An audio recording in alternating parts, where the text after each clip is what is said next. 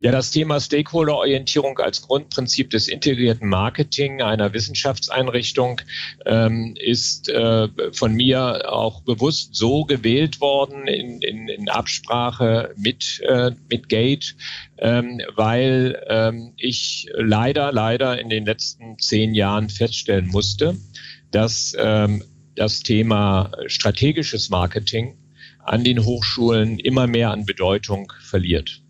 Das heißt, äh, operativ äh, im Sinne eines Werkzeugkastens äh, für die unterschiedlichsten Kommunikationsinstrumente wird Marketing in der Tat äh, verwendet, äh, aber äh, als strategische Grundausrichtung einer Hochschule eben nicht. Welche Hochschule hat denn äh, auch nur eine Stelle, eine Ganztagsstelle für strategisches Marketing?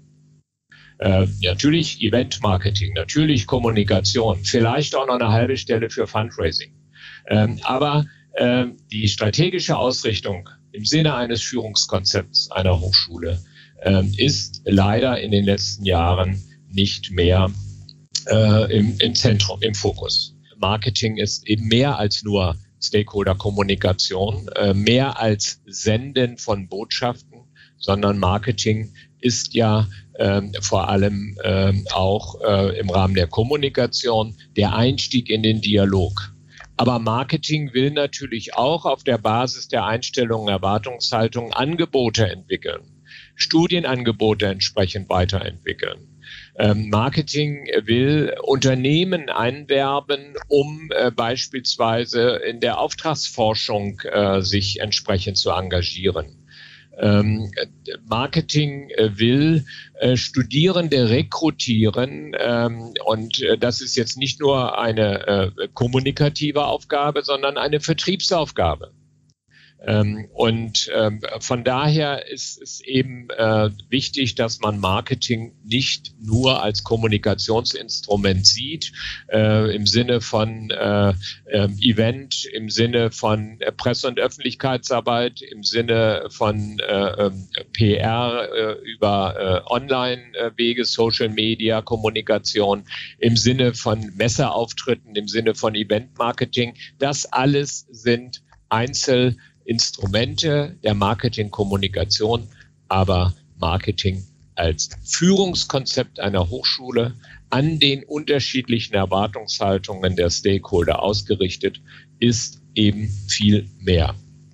Stakeholder. Wer sind die Stakeholder? Das sind äh, von der Definition her eben Interessenvertreter oder anderes Wort Anspruchsberechtigte innerhalb oder im Umfeld einer Wissenschaftseinrichtung, die als Person oder Gruppierung ihre berechtigten Interessen wahrnehmen oder die von den Handlungen der Wissenschaftseinrichtung betroffen sind bzw. sich betroffen fühlen.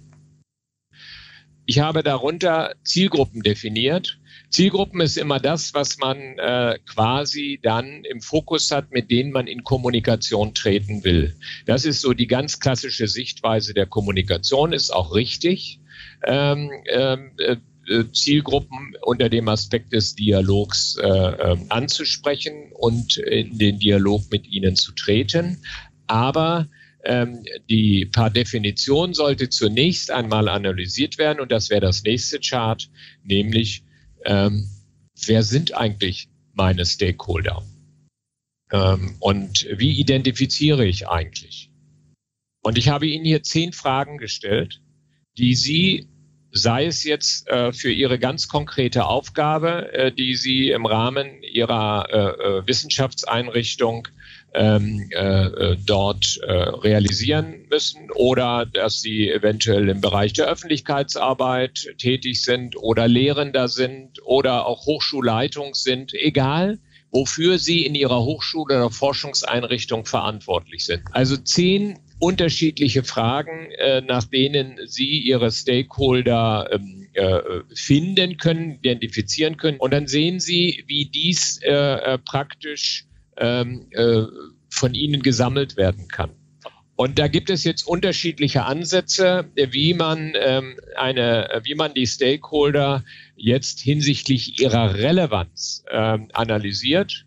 Aus der Menge aller Stakeholder, die sie gesammelt haben, das können 100, 200, 300 Gruppen sein, das können Einzelpersonen sein.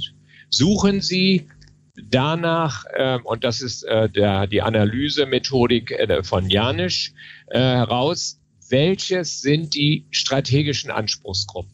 Also diejenigen Anspruchsgruppen, die über viel Einfluss, über eine hohe Machtbasis verfügen und von denen man auch weiß, dass sie gewillt sind, ihren Einfluss geltend zu machen. Äh, Müller-Stevens fragt, ähm, ein, diejenigen Stakeholder, die viel Einfluss haben, in welcher Form sind sie auch beeinflussbar? Das heißt, wenn wir die strategischen Anspruchsgruppen herausgefiltert haben aus all denen, die sie gesammelt haben, äh, fragen Sie, welche davon sind durch die Hochschule, durch die Forschungseinrichtung beeinflussbar direkt oder indirekt beeinflussbar. Der nächste Schritt ist dann die Frage nach Savage, die Frage, sind sie eher für uns oder eher gegen uns? Können wir eher Unterstützung oder eher ähm, Gegnerschaft, Hemmnisse, Bedrohung von diesen Stakeholdern erwarten? Und diese Gruppe, die dann letztendlich überbleibt, also strategische Anspruchsgruppe, äh, beeinflussbar, und äh, zumindestens unterstützend oder sogar als Multiplikatoren und Meinungsbildner für die Hochschule oder die Forschungseinrichtung ähm, äh, äh, denkbar. Das sind die relevanten Stakeholder.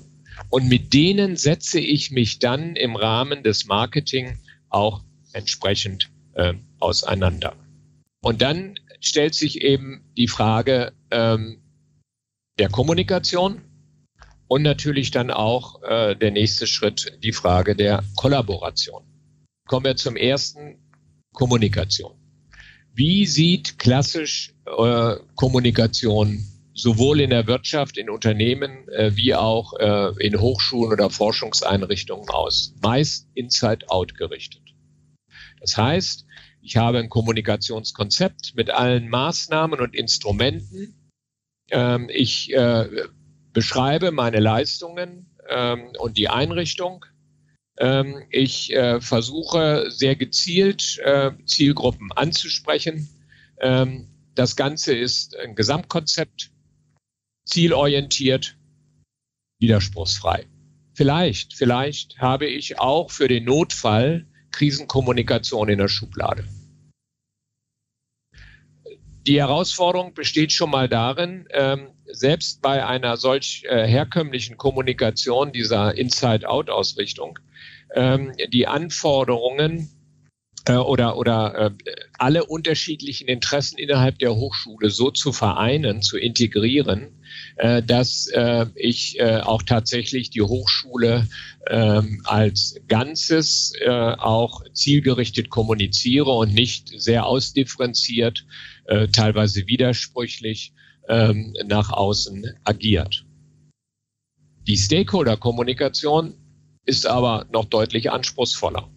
Sie ist nämlich outside-in gerichtet. Das heißt, meine grundlegende Frage ist, ähm, erst verstehen, dann verstanden werden. Das heißt, welche Einstellungen, welche Erwartungshaltungen haben eigentlich die relevanten Stakeholder an meine Hochschule, an meine Forschungseinrichtung, an mein ganz konkretes Projekt, an meine Aufgabenstellung. Das heißt, ich muss diese identifizieren, analysieren hinsichtlich ihrer Erwartungshaltung. Ich muss analysieren, wie informieren sie sich eigentlich, wie kommunizieren sie eigentlich, um dann in den Dialog mit ihnen zu treten. Und dabei akzeptiere ich Interessenpluralismus.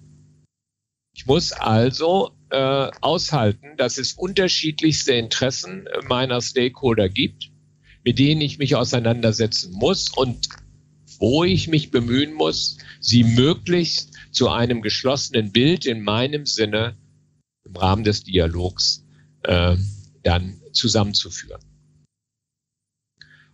Und das Gleiche gilt natürlich auch für Zusammenführen, für die Zusammenarbeit was deutlich macht, dass ähm, äh, Stakeholder Management, dass äh, die, ähm, die, die Identifikation und die Kommunikation mit den Stakeholdern äh, eben mit äh, großem Aufwand verbunden ist, ähm, für die entsprechende zeitliche und personelle Ressourcen auch tatsächlich zur Verfügung gestellt werden müssen. Das Ganze äh, bedarf einer grundsätzlichen, prinzipiellen äh, Haltung der Wissenschaftseinrichtung im Sinne eines strategischen, auf die Stakeholder, intern wie externen Stakeholder ausgerichteten Marketing als Führungskonzept der Einrichtung. Das ist äh, äh, praktisch das, was ein effektives und effizientes Stakeholder-Management letztendlich zu leisten vermag.